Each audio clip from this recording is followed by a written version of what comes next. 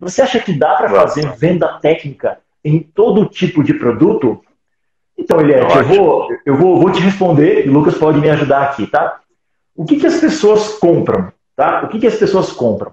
As pessoas compram o benefício que o seu produto vai gerar nelas.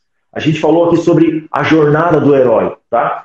Qual é a jornada do herói do Daniel San, né, lá, o, o aluno de, de karatê do, do Sr. Miyagi? Era ser campeão, né? na verdade não era só, era lutar contra os caras que batiam, batiam nele, mas ser campeão, né? se tornar campeão. Qual é o benefício de ser aluno do Sr. Miyagi? Ser campeão. Ser campeão. Se o, Daniel, se o Sr. Miyagi tivesse dito para o Daniel San o tempo inteiro que ele tem que ficar lá, limpar parede, lustrar carro, que são os atributos técnicos, possivelmente o Daniel San teria desistido do treinamento.